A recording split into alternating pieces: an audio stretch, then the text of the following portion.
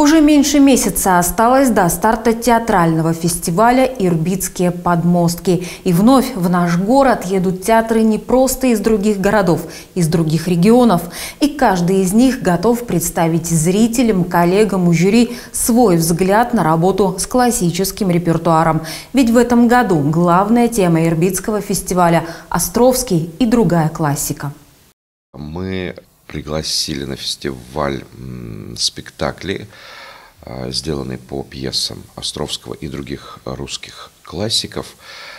И это не всегда прочтение а, классическое – это интересные режиссерские трактовки, это интересные режиссерские решения, это э, непривычный способ актерского существования. При этом в афише фестиваля есть и уже знакомые ирбитскому зрителю театры и те, чьи имена мы слышим впервые. Да и география участников удивит любого. В этом году произошло что-то удивительное. Фестиваль вышел на какой-то другой уровень в плане э, сбора заявок.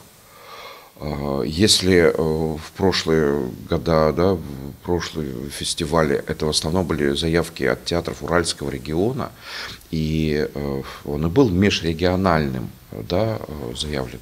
И к нам приезжали театры, ну, из Пермской области, из Тюменской, Челябинской, Курганской, там, да, в, ну, из Свердловской, естественно, Урал в основном.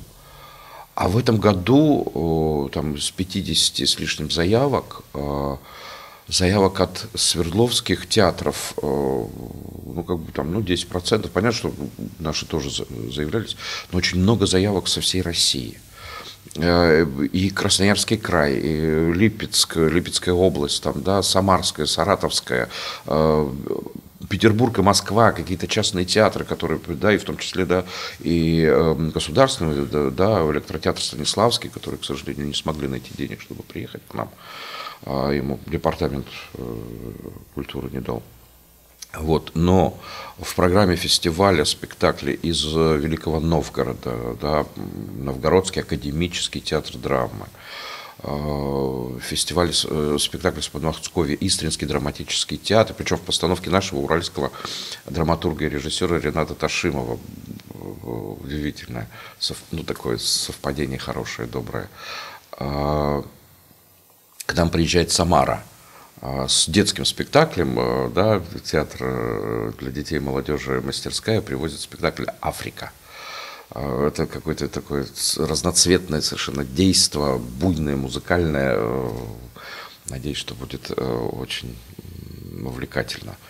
К нам приезжает Татарстан, да, театр из Буинска и театр из Нижнекамска.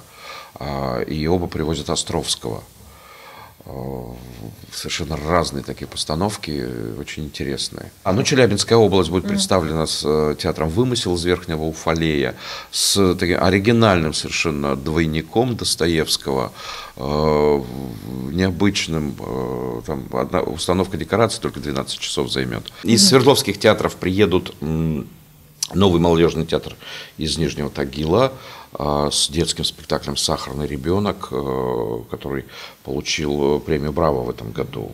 Э, да?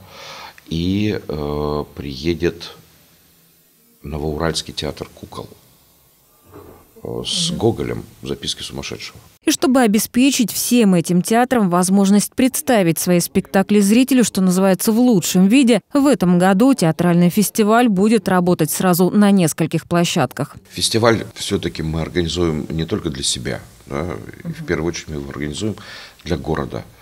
И, естественно, город помогает э, проводить этот фестиваль. А, в подготовку включились две э, сценические площадки. Это ДК имени Костевича и э, ЦДТ «Кристалл». На них будут проходить спектакли большой формы. А, а здесь у нас э, в здании драматического театра будут проходить спектакли малой формы. И спектакли малой формы будут идти дважды да, чтобы не только участники фестиваля могли посмотреть, но и как можно больше зрителей э, могло влезть в наше маленькое, наше маленькое помещение. К слову, серьезным дополнением в этом году к программе фестиваля станут непривычные для нас форматы мероприятий. Лекции и круглый стол, посвященные классике в театральном репертуаре, а также акция памяти. Все это ирбичане и гости города смогут посетить бесплатно. В этом году э, жюри нашего фестиваля возглавит э, Павел Андреевич Руднев, э, известный российский театровед, критик, историк театра, помощник художественного руководителя МХАТа по литературной части, э, преподаватель э, Высшей школы сценических искусств э, Райкина, преподаватель Высшей школы Дадамяна. То есть, ну, человек, автор многих публикаций, статей о театре, книг о театре. Очень весомый человек в театральном мире. И в рамках этого фестиваля он прочитает лекцию о значении Островского для российского театра.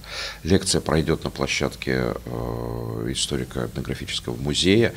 Музеи тоже подключились вместе с э, ДК, Костевича и Кристаллом, подключились к проведению фестиваля вот пройдет лекция Павла Руднева в, истори- в историко-этнографическом музее, а в истории, а в музее э, изобразительных искусств пройдет круглый стол «Смотрим классику сегодня», который проведет э, театровед, критик Ксения Стольная.